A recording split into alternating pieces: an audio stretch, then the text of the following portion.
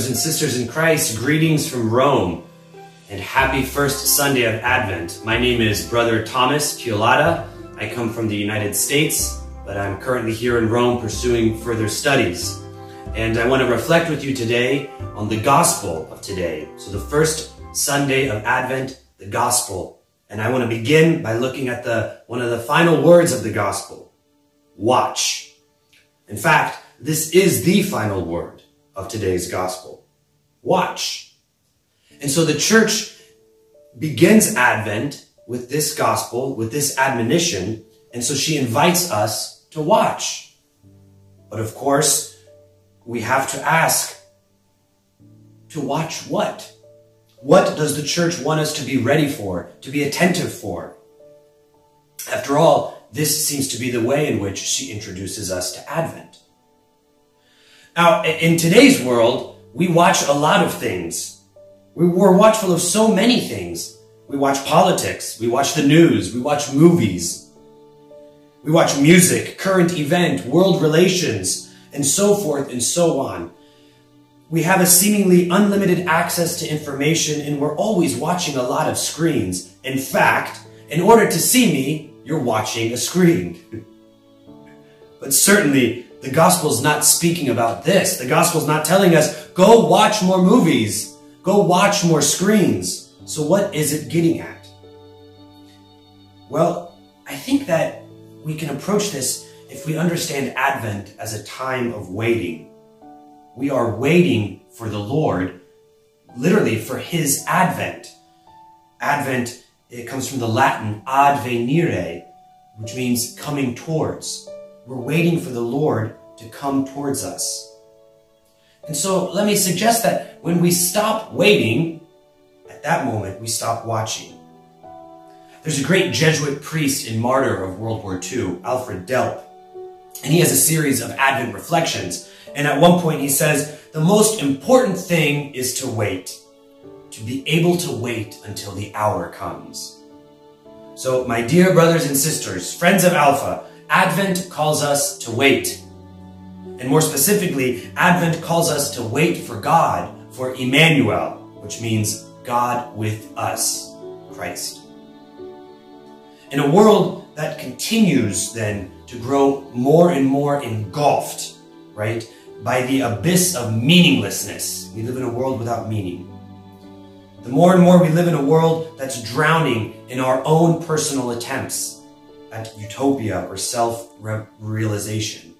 In a world that is beguiled by artificiality and enslaved by the flesh, let me suggest that to become a man or a woman of waiting is prophetic. It takes courage. The gospel speaks of the man traveling abroad today. And I really like that, that, that idea, that image. I have this image of someone who does not wait, Internally, he's over here, he's over there, he's traveling everywhere, he has no center of gravity.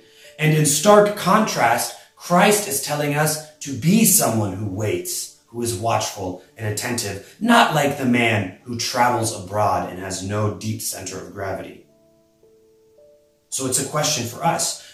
Internally, are we like that man who travels abroad? Perhaps Advent can be a time when we recenter ourselves in the truth of life. Here, then, think of the great characters of Advent, Joseph and Mary. Both of these figures were radically available to the will of God, either in, in the Gospel of Matthew or in the Gospel of Luke. To both of them, the Lord communicated his plan, and they both, in their freedom and immense availability, accepted what the Lord had asked of them. Why? They were waiting they were waiting and they were available. Even though the Lord completely disrupted their lives, they were waiting and they were available. The Lord disrupted their plans, yet they were waiting for that. And so if we're not waiting for the Lord, we'll miss him. I, I, think it's important to stress here that to wait for God then is to wait for him without expectation. That's what Joseph and Mary did. They didn't have a plan for what God would do in their lives. They were simply open to what he would do. They were waiting for his disruption. So let me suggest then, brothers and sisters, do not wait for the Lord to fix someone else, right? Don't wait for the Lord to solve your own personal problems or to solve your financial problems. Do not wait for the Lord to plan your future, to tell you what to do next per se. Simply wait for the Lord and then let his coming disrupt you. So what does this waiting look like? Let me turn for a moment to St. Francis. In one of his writings, he writes, let us always make a home and a dwelling place in our hearts for him who is the Lord God Almighty, Father, Son, and Holy Spirit, who says, Be vigilant at all times.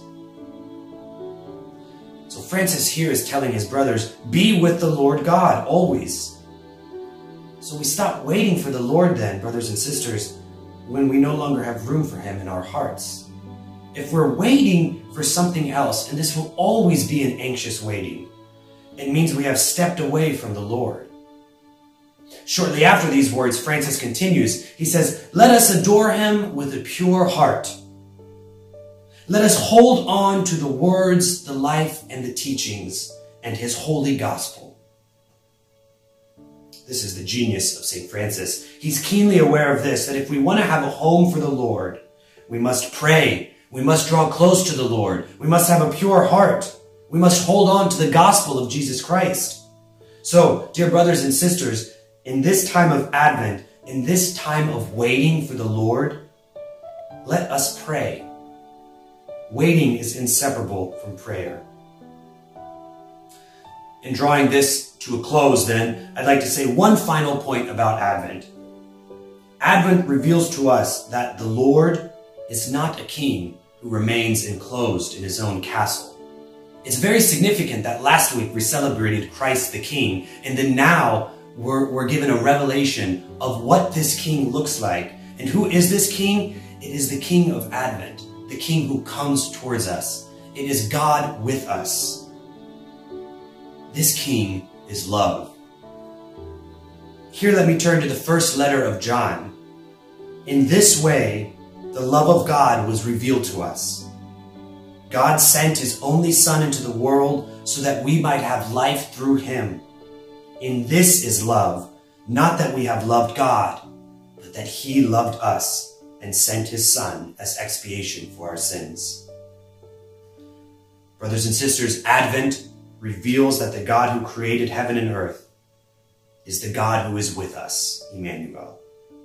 Advent is the great reminder that we are not alone, that we are loved.